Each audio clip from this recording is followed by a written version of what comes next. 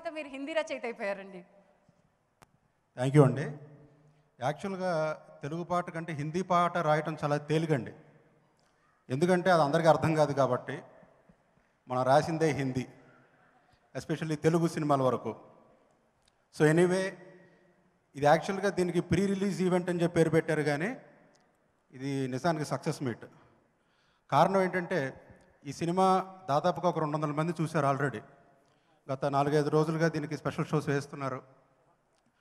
అందరి వైపు నుంచి కూడా అంటే ప్రతి ఒక్కళ్ళు కూడా ఫేస్బుక్లో దీని గురించి చాలా గొప్పగా పెడుతున్నారు. అంటే ఒక్క నెగిటివ్ కామెంట్ కూడా లేదు. ఈవెన్ ఆఫ్లైన్లో కూడా అసలు ఒక్క negative comment వినిపించట్లే. So yeah this is because of the Raj Kandukuri గారి జడ్జిమెంట్. ఆయన జడ్జిమెంట్ ఎంత గొప్పది అనేది ఈ సినిమా ద్వారా మనకు అర్థమవుతుంది. నిజానికి ఈ సినిమా నేను చూశాను. చూసిన తర్వాత నాకు ఒకటే అనిపించింది. ఇది మినిమం త్రీ లాంగ్వేజెస్లో రీమేక్ అవుతుందండి.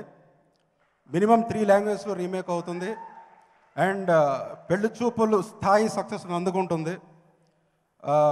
వివేక్ ఆత్రేయ చాలా బిజీ డైరెక్టర్ అవుతాడు. And Prashanth Vihari very busy music director అవుతాడు. అండ్ అన్నిటికంటే మంచి శ్రీ విష్ణుకి ఒక స్టార్ స్టేటస్ వస్తుంది. And beyond everything Raj Kandukuri గారి జడ్జిమెంట్ కూడా ఒక స్టార్ స్టేటస్ వస్తుందని అనుకుంటున్నాను.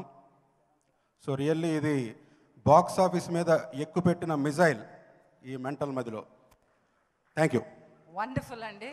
మరి ఆ ఎక్కుపెట్టిన మిసైల్ డెఫినెట్లీ దాని రేంజ్కి వెళ్ళాలని ఆ రేంజ్ సెట్ చేయాలని కోరుకుంటున్నాను.